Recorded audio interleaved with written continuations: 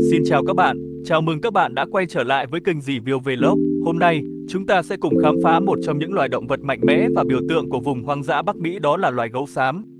Gấu xám, hay còn được gọi là gấu Gersicili, là một trong những loài gấu lớn nhất trên thế giới. Tên gọi Gersicili bắt nguồn từ bộ lông xám bạc đặc trưng của chúng. Gấu xám chủ yếu sinh sống ở các khu vực rừng rậm, đồng cỏ và vùng núi Bắc Mỹ, đặc biệt là ở Anh Latka và Canada. Gấu xám có thể nặng từ 180 đến 680 kg, tùy thuộc vào giới tính và điều kiện môi trường. Chúng có một cơ thể to lớn, với móng vuốt dài và khỏe, giúp chúng săn mồi và đào bới tìm kiếm thức ăn. Gấu xám nổi tiếng với sức mạnh vượt trội và tốc độ đáng kinh ngạc, có thể chạy nhanh lên đến 5-16 km mỗi giờ dù có kích thước khổng lồ. Là loài động vật đơn độc, trừ khi là gấu mẹ đang nuôi con hoặc trong mùa giao phối, chúng chủ yếu là loài ăn tạp, với chế độ ăn đa dạng bao gồm cá hồi, cổ mọc, cỏ, rễ cây và thậm chí cả các loài động vật có vú khác. Vào mùa thu, gấu xám tích cực ăn uống để tích trữ mỡ, chuẩn bị cho kỳ ngủ đông kéo dài từ 5 đến 7 tháng. Một trong những điều thú vị nhất về gấu xám là tập tính ngủ đông của chúng. Trong suốt mùa đông, gấu xám ẩn mình trong các hang đá hoặc hốc cây, nơi chúng ngủ li bì, sống dựa vào lớp mỡ đã tích trữ. Gấu cái thường sinh con trong giai đoạn này, với mỗi lứa có từ 1 đến 3 con non. Khi tỉnh dậy vào mùa xuân, gấu mẹ sẽ dẫn con ra ngoài để bắt đầu cuộc sống mới. Gấu xám có tập tính sinh sản khá đặc biệt và phức tạp, liên quan chặt chẽ đến chu kỳ sinh học của chúng và điều kiện môi trường. Thời gian giao phối Mùa giao phối của gấu xám thường diễn ra vào khoảng tháng 5 đến tháng 7. Trong thời gian này, con đực và con cái sẽ tìm đến nhau. Gấu xám là loài đơn độc, chỉ gặp nhau để giao phối rồi lại tách ra. Chỉ hoãn cấy phôi, sau khi giao phối, trứng đã thụ tinh của gấu xám không phát triển ngay lập tức. Thay vào đó, phôi sẽ ở trạng thái trì hoãn và chỉ cấy ghép vào thành tử cung vào cuối mùa thu, khoảng tháng 10. Điều này giúp đảm bảo rằng gấu cái sẽ sinh con vào thời điểm thuận lợi, khi chúng đã tích lũy đủ năng lượng qua mùa ăn uống tích cực. Thời gian mang thai Giai đoạn mang thai thực sự của gấu xám kéo dài khoảng 8 tuần sau khi phôi cấy vào tử cung. Gấu cái sẽ sinh con vào khoảng tháng 1 hoặc tháng 2 khi chúng đang ở giữa kỳ ngủ đông trong hàng.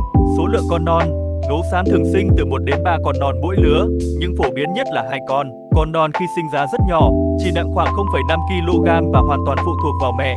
Gấu mẹ và con non Gấu cái chăm sóc con non trong suốt kỳ ngủ đông, cho đến khi chúng đủ lớn để ra khỏi hang vào mùa xuân. Con non sẽ bú sữa mẹ và được giữ ấm bằng cơ thể mẹ. Giai đoạn phát triển, khi mùa xuân đến, gấu mẹ dẫn con non ra ngoài, dạy chúng cách kiếm ăn và sinh tồn. Con non thường ở với mẹ trong khoảng 2 đến 3 năm trước khi tự lập, chúng cách kiếm ăn và sinh tồn. Bảo vệ con non, gấu mẹ rất bảo vệ con non, sẵn sàng chiến đấu với bất kỳ mối đe dọa nào, kể cả những con gấu được trưởng thành khác, để bảo vệ con. Thực tế, những con gấu đực đôi khi có thể tấn công con non để ép gấu mẹ quay lại chu kỳ sinh sản. Gấu xám cái thường có chu kỳ sinh sản kéo dài từ 2 đến 3 năm, bởi con cái cần thời gian nuôi dưỡng con non và tích lũy năng lượng trước khi bắt đầu một chu kỳ sinh sản mới. Tập tính sinh sản của gấu xám rất đặc biệt, với hiện tượng trì hoãn cấy phôi giúp chúng tối ưu hóa thời gian sinh con vào thời điểm thuận lợi nhất trong năm. Gấu xám là những bà mẹ tận tụy, dành nhiều thời gian và năng lượng để nuôi dưỡng và bảo vệ con non trong những năm đầu đời. Việc hiểu rõ về tập tính sinh sản của gấu xám không chỉ giúp chúng ta hiểu hơn về loài động vật này mà còn là cơ sở để đưa ra các biện pháp bảo tồn hiệu quả. Gấu xám là loài ăn tạp với chế độ ăn rất đa dạng, phản ánh sự thích nghi linh hoạt của chúng với các môi trường sống khác nhau. Dưới đây là một số loại thức ăn chính trong chế độ ăn của chúng. 1. Ăn động vật. Một trong những nguồn thức ăn quan trọng nhất cho gấu xám là cá hồi, đặc biệt là trong mùa cá hồi di cư. Gấu xám sẽ tụ tập tại các con sông và suối để săn cá hồi, giúp chúng tích lũy lượng mỡ cần thiết cho kỳ ngủ đông.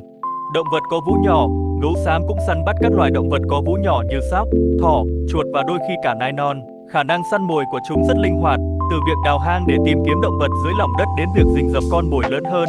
Mặc dù không thường xuyên, gấu xám đôi khi cũng săn các loài động vật lớn như hiêu, nai và thậm chí là bò rừng. Chúng thường nhắm vào những con vật ốm yếu, bị thương hoặc con non vì chúng dễ dàng hơn trong việc hạ gục.